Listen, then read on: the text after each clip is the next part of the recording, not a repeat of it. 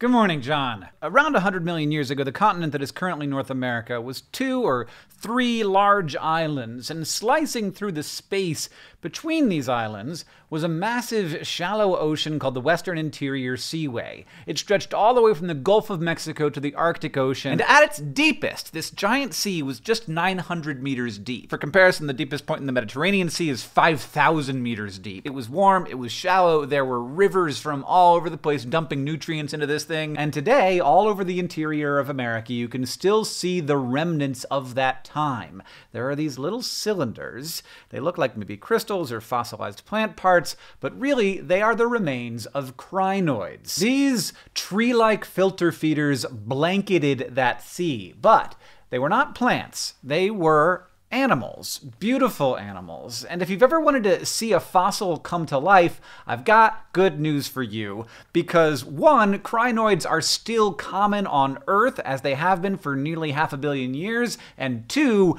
they do not disappoint in their beauty and oddity. Crinoids come in two main flavors today the stalked kind, which we call sea lilies, and the unstalked kinds, which we call feather stars. Now, they look more like a kind of coral than anything anything else, like that they would just sit anchored to one spot in the ocean, filtering plankton out of the water and chilling out. But corals are collections of tiny organisms, and corals are very much stuck to one place. Crinoids are animals. They are macroorganisms like us, and they can, though they don't often, move. Oh, yeah. I mean, I maybe forgot to mention the main thing about feather stars, which is this. Like you've probably seen viral videos of this movement, but it isn't the kind of thing that like it hurts to watch again. Crinoids spend almost all of their time sitting in one spot, but they spend almost all of their viral video time engaging in this amazing, mesmerizing locomotion. Like other echinoderms like starfish, sea urchins, sea cucumbers, etc., feather stars are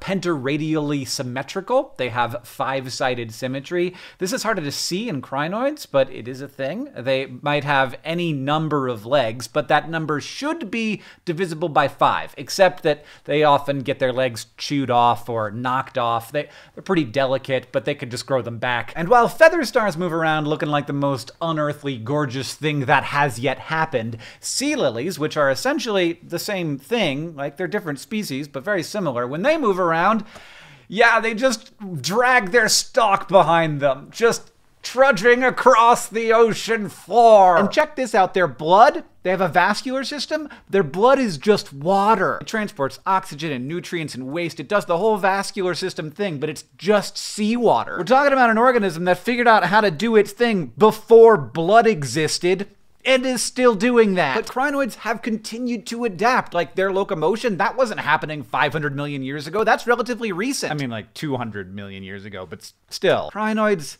Y'all did it. Good work. Just keep swimming, I guess is what this is. If you're a member of the Bizarre Beast Pin Club, we sent out feather stars early instead of armadillos. If you're wondering whose fault that mix-up was, wonder no longer. Thank you for being a part of that project. All the money from it's going to help some of the most vulnerable people in the world. And so that everybody knows, the DFTBA warehouse and store have been closed down. Everybody is still on staff. We hope to be up and running soon.